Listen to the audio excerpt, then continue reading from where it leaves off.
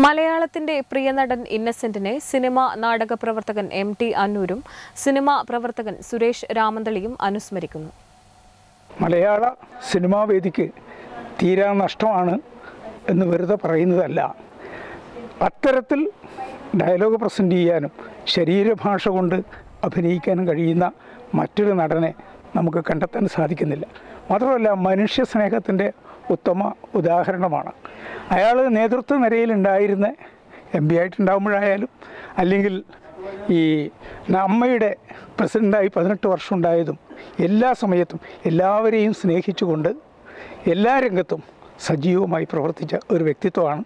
എനിക്ക് ഈ ഇന്നസെന്റ് ഏട്ടനുമായിട്ട് ഒരു സിനിമയിൽ ഇന്നസെന്റ് ഏട്ടൻ ത്രൂ ഔട്ട് കഥാപാത്രം ചെയ്യുന്ന സാവിത്രിയുടെ അരഞ്ഞാണം എന്ന മോഹൻ ഗുപ്ലയുടെ സിനിമയിൽ അസോസിയേറ്റായി പ്രവർത്തിക്കാൻ അവസരം ലഭിച്ചിരുന്നു.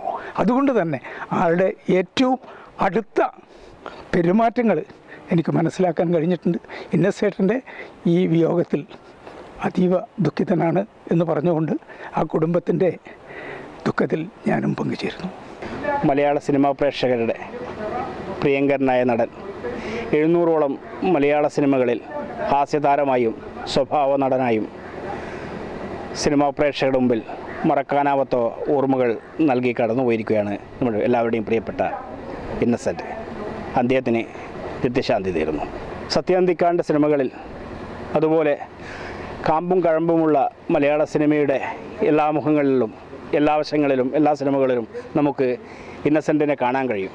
വളരെ വ്യത്യസ്തമായ നിരവധി കഥാപാത്രങ്ങൾ അദ്ദേഹത്തെ തേടിയെത്തിയിട്ടുണ്ട്.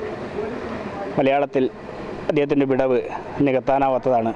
അദ്ദേഹത്തിന്റെ ആത്മാവിന് നിത്യശാന്തി നേരുന്നു.